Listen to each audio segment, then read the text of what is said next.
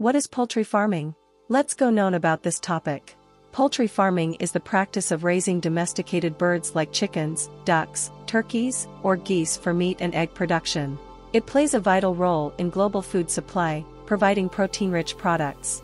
Broiler farming focuses on meat production, while layer farming centers on egg production. Proper housing, feeding, and disease management are essential for success. Breeding and genetics influence productivity, and eggs are collected, graded, and processed. Sustainable and environmentally responsible practices are becoming more critical, and adherence to regulations and certifications is necessary.